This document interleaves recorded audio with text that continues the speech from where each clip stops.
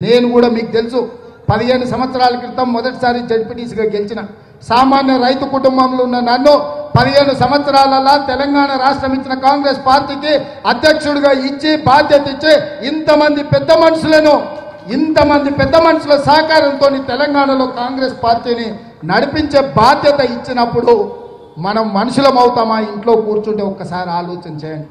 మన తల్లి మీద ఎవడైనా చెయ్యాలని చూస్తే మన తల్లిని ఎవడైనా అవమానించాలని చూస్తే వాడి తల తెగ నరికే వరకు బిడ్డలుగా మనము బజార్లోకి రావాల్సిన అవసరం ఉంది యుద్ధం చేయాల్సిన అవసరం ఉంది. ఆ బాధ్యతతోనే సోదరులారా ఇవాళ ఈడీ ఆఫీస్ ముందర నించున్నాం. ఈడీ ఆఫీస్ ముందర